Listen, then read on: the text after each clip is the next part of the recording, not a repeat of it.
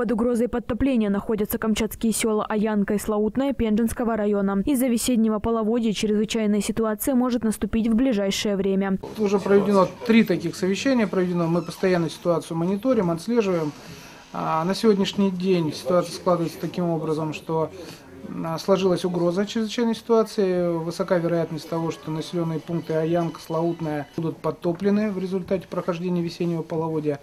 А, ну, на сегодняшний день у нас осталось 30 сантиметров э, до уровня воды, в результате которого будет э, подтоплена Аянка. А это два дня. Сегодня прирост воды где-то 10-14 сантиметров в сутки. И ну, мы ожидаем через день-два уже выход, э, достижения опасных явлений. В зоне вероятного подтопления ведется постоянный мониторинг паводковой обстановки. Для минимизации возможного ущерба и своевременного реагирования на возможную чрезвычайную ситуацию в Пенжинский район отправили оперативную группу вертолетом Ми-8 Хабаровского авиационно-спасательного центра МЧС России. Мы решили ввести режим, рекомендовать главе Пенжинского района ввести режим повышенная готовность на территории района в связи с угрозой ЧС, принять все необходимые превентивные меры и направляем завтра туда оперативную группу для помощи главе района, для помощи жителям населенных пунктов проведения заблаговременных мероприятий, сохранению имущества своего, информированию населения,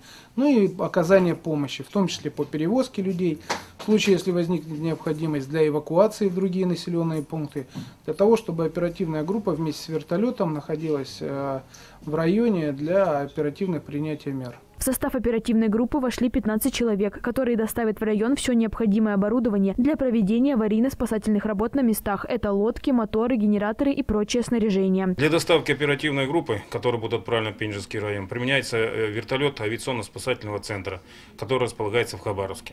В состав оперативной группы входят спасатели э, Камчатского спасательного центра, а также ПСО Камчатского края. Плюс еще будут представители Роспотребнадзора, а также Росгидромет. Ситуация, которая сложилась в, муници... в Пензенском муниципальном районе, она происходит из года в год.